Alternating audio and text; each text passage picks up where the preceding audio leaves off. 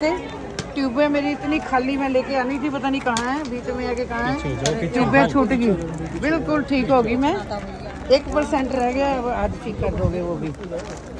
फिर अगली बार आऊँगी सेरे लेके आऊँगी। ये ट्यूबे लगाती थी मांग मांग के भीख लाती थी। सौ सौ रुपया दो दो सौ रुपये की बाज़ार से मिलती थी। रात को नावती थी ट्यूबें काट काट के क्रीमें लगाती थी मैं सारी दवाई छूट गई तेरी इस उम्र में? और शुगर की रह गई वो भी छोड़ा दोगे। वो भी छूट जाएगी तुझे पता तो चली गया। खाली ये रही ये रही खाली। खाली ट्यूबा खाली डब्बे रखती थी रात को हॉस्पिटल में नहीं मिली बाज़ार से नहीं मिली इसको काट काट के लगाती थी जख्म होते थे चीखे मारती थी। ओ तेरे की। तो आते ही बता दिया था दो, माता पितर जी दोष है बचपन से। आपने ही बता दिया था पितृदोष हाँ, तो मैं आती रहूँगी। मेरे को मन्नू भैया इतने नोट देंगे कि टैक्सी करके आते हैं हम दो तीन मिल के तो अपनी गाड़ी चला के आएँगे। इतनी बरकत तो आ रही है। कमी नहीं दी भगवान जी ने कहीं। जहाँ रुकावट है मन्नू भैया के आशीर्वाद से सब रुकावटें दूर हो जाती हैं। डॉक्टरों को क्या कहेगी तू? डॉक्टर को भी शीश दूँगी इतनी देर से आप करीमें लगाती रही बेचारों से ले लेके। नहीं क्या देगी? हैं? सब हॉस्पिटल से नोट तो नहीं हुई? नोट फॉर सेल कोई नहीं ठीक हुए थे हम। घबराते थे खा के मेरे आदमी बाईस सितंबर को ऐसे कुब्बे हो गए थे। हाँ। मैंने कहा मन्नू भैया के पास जाओ दवाइयाँ नहीं लो। पाँच डॉक्टर बदले आराम नहीं आया। मन्नू भैया से आशीर्वाद लिया अब सीधे हो गए बिल्कुल। चल रहे हैं बिल्कुल चल रहे हैं। आशीर्वाद लेके सीधे होके बिल्कुल चल रहे ज़ोर से है डूब के मर जाओ।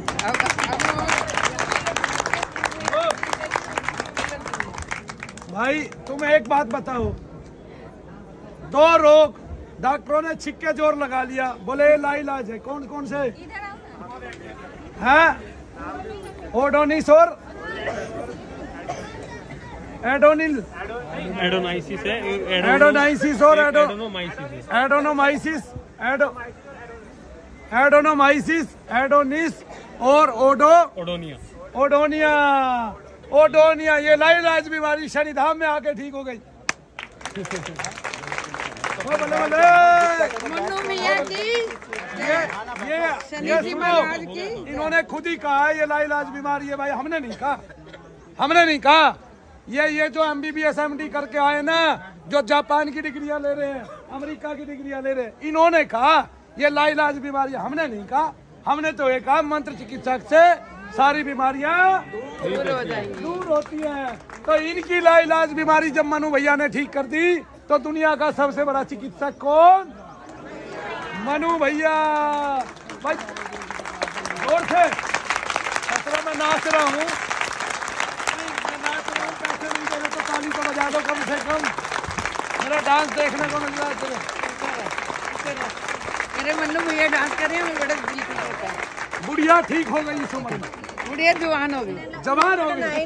दवाइयाँ छूट गई। ये देखो ये ये प्लेट भरी रहती थी प्लेट। और। भी इतनी खाली ट्यूबे खाली खा खा के खाली कर दी हमने तो इतने सालों से। वो तरह की नींद की ये तो वो तो। इन दवाइयों को कूड़े करकट में फेंक के जला दो। अग्नि में डाल। दो। अरे नहीं इसकी भसम बन जाएगी। साला बुरा और करेगी पता नहीं कौन कौन सी दवाइयाँ। अगला भभूति लेगा बेहोश। भभूति खाएगा बेहोश।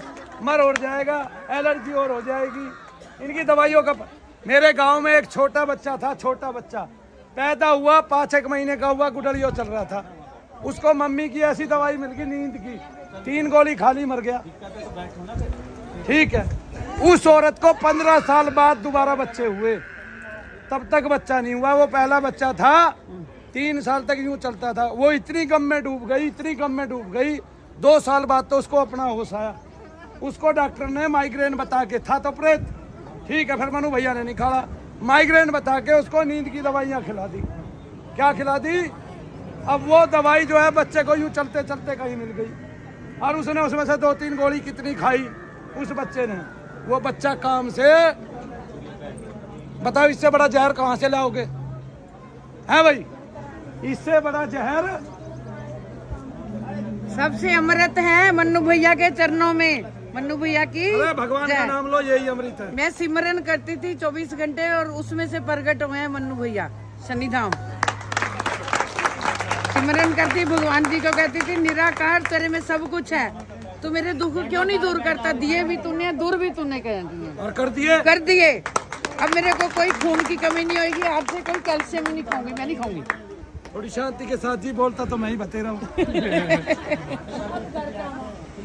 ऐसी चीज़ हूँ मैं भी किसी के छेती काबू आने वाली नहीं हूँ। लेकिन मन्नू भैया ने मेरे को ठीक है। डॉक्टर एमडी डॉक्टर इनके पास तीन बीमारियों का कोई इलाज नहीं था मनु भैया ने वे बीमारियाँ ठीक एक बहन जी को यहाँ नीचे पेट में जख्म और दर्द रहते थे उसको एडेनोमाइसिस एड्रोमाइसिस अरे मेरे को बड़े जख्म रहते थे मैं बेल्ट और भी बांधी ओडो। हुई है ओडोनिया ओडो निया निया ओडोनिया ये ठीक ही नहीं होती डॉक्टर पे। कहाँ बैठे हैं इतने सारे औज़ार हथियार लिए? हमारी छाती काटने के लिए। बैठने के लिए। हैं? अरे पित की थैली का ऑपरेशन किस किस का कर रखा है? बाहर निकाल दी है तेरे की। ओए होए होए होए। ये क्यों निकाल दी? इसको देखो इसको। इसको वहाँ देवी बैठी रहती थी। वो ऑपरेशन भैया एक एक गांठ हो गई थी यहाँ पे ये भी कर दिया था ये भी एक तीसरा बोल दिया पर तीसरा मैंने नहीं करा नहीं मैं चली वहीं का वहीं दर्द बराबर रहा। इसको तो था तो यार था तो यार देवी बैठी थी। गलती भैया इसका भी दर्द भी नहीं हुआ। दुखन बोला दुखन थी, पित्त की दुखन। थैली में पथरी है?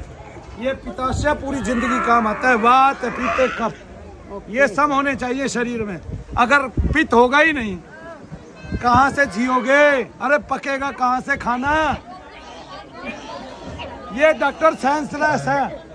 ये सेंसलेस है इनके सामने मानव नहीं है। क्योंकि मानव को तो पित्त की आवश्यकता पड़ती है वात की और कप की आवश्यकता पड़ती है। शरीर में उसकी सम मात्रा होनी चाहिए तभी तो रोटी पकेगी। डॉक्टर जो है वो तुम्हें मानव नहीं समझ रहा। वो तुम्हें कुत्ता कुतिया भेड़ गधा गधी ये समझ रहा है। तभी तुम्हारी थैलियाँ निकाल रहा है तो हमें कीड़ा समझते हैं मार देते हैं चलो।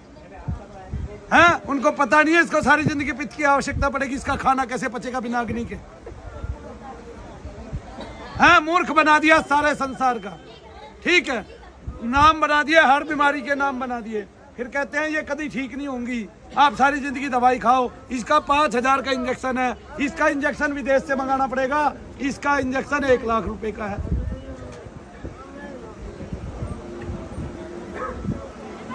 मन्नू भैया की? बोलो शनिदेव। महाराज हर हफ़्ते मेरे को इंजेक्शन लगवाने जाना पड़ता था दर्द का। अब मेरा एक परसेंट रह गया। आज वो भी दूर हो जाएगा। जय श्री